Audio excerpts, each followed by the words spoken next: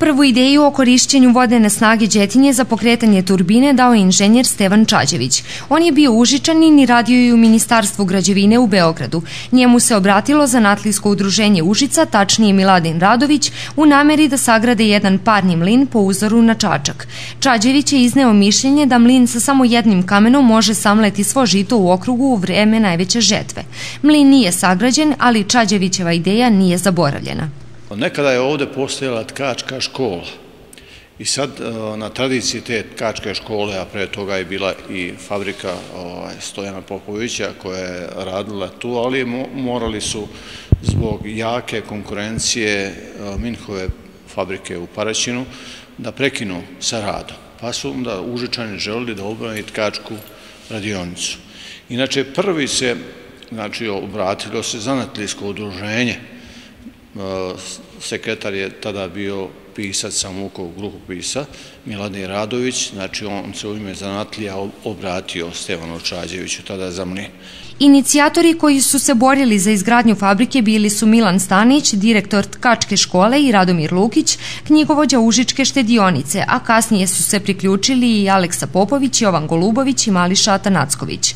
Oni su istakli nacionalni značaj izgradnje fabrike kao i mogućnost zapošljavanja i dobijanja profita od uloženih akcija u fabriku. Procenili su da će im za izgradnju trebati 100.000 dinara, ali je Ministarstvo narodne privrede procenilo da je neophodno više novca, oko 300.000 dinara. Ukazom kralja Milana, tkačka radionica je dobila povlastice tako da je mogla da nabavlja opremu po jeftinijoj ceni. E sada, e, igrom slučaja, ovde Užice je poslat e, da pristuje ispitu zrelosti e, užičkih gimnazijalaca, profesor Đorđe Stanojević.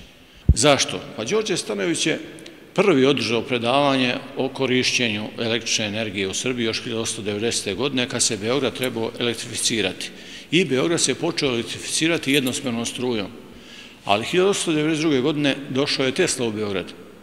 Jedni od onih koji su sačekali Teslu bio je Đorđe Stanojević. Tada mu je Tesla prebacio, odnosno zamerio zašto koristi jednosmernu struju kad postoji mogućnost korišćenja polifaznih struja. 3. maja 1899. godine kralj Aleksandar položio je kamen temeljac. Tekst na spomenici nije zabeležen, ali se pretpostavlja da je identičan tekstu na spomen ploči na centrali. On je tim činom praktično postao i kum, pa je lakše akcionarima bilo došlo doći do zajma od klasne lutrije Srbije. Znači.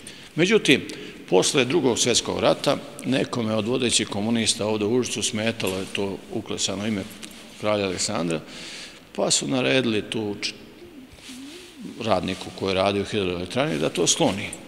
To je poča nađena prilikom obnove hidrocentrale bačena u reku Đetinje.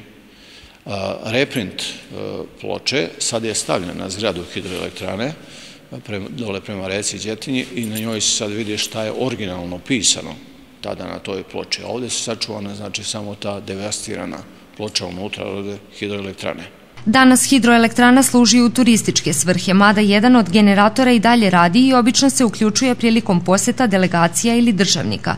Veliki broj stranaca prilikom posete našem gradu dolazi upravo ovde, jer je ova hidroelektrana jedno od najpoznatijih obeležja Užica.